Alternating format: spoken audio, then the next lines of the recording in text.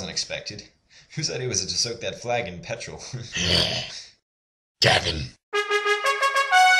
Here you go, sir. Thank you, Barnabas. Brief me. Well, sir, there's been a large-scale break-through in the Stanford High Security Prison. We're at $300 trillion in debt, and there's a hurricane building up on the southeast coast. Oh, and some Olympic athlete just set fire to the flag. O judgment, thou art fled to brutish beasts, and men have lost their reason. That's beautiful, sir. I am, aren't I?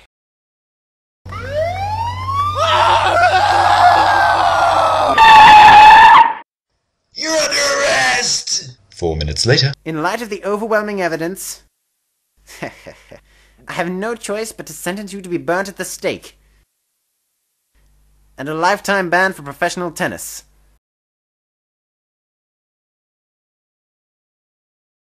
We have brought you here, Mr. Ambassador, in response to the barbaric execution of Hans Schleibenreiber. Can't we find a diplomatic solution to this? Feed him to the sharks. We were all horrified at the death of Mr. John Smith. The Germans have crossed the line. We are left with no choice but to declare war on Russia. What? We didn't do anything! What is this, India? Hey, f you. According to the ANZUS Treaty, you are required to join us in war against Russia. Actually, no. It says right here that the treaty only holds if the war is not stupid. Damn it, who wrote this? We'll help you out. Oh, thank you. You want to come back to my place for chess and coffee? Yes, yes, I do. One day later. Sir, I regret to inform you that one of our long missiles headed for Russia fell short and uh, hit a school in India. So accept responsibility then? What? No, tell him it was Pakistan.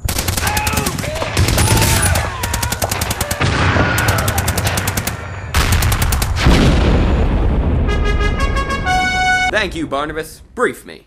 Well, sir, China, Japan, and Germany have joined the Russians. I don't know how to tell you this, sir, but we're going to lose. You know I can't let that happen, Barnabas. What are you going to do? I never thought I'd have to say this. It's time. As you wish, sir. Initiate Operation 666 3.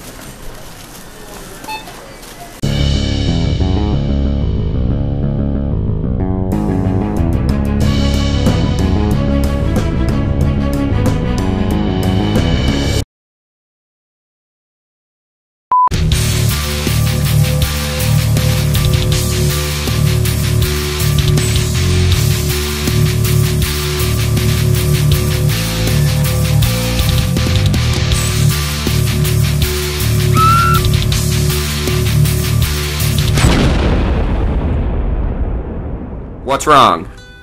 I can't help but feel, sir, that we made the wrong choice. Oh, Barnabas, you have eyes and yet you do not see. We've won! Don't you understand? Ha ha! The war is over and the world is free!